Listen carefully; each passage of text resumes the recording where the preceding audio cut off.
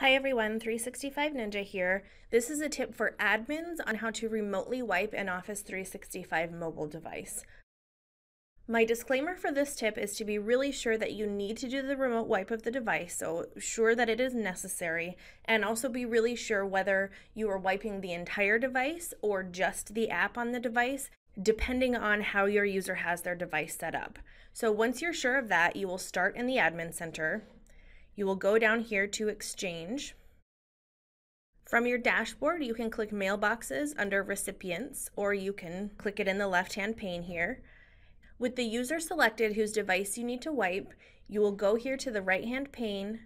Under Mobile Devices, select View Details. Select the device to wipe, so here you see My Mobile Device, and click the Wipe Data icon. Now from here, you get some information about wiping the device and you'll click OK.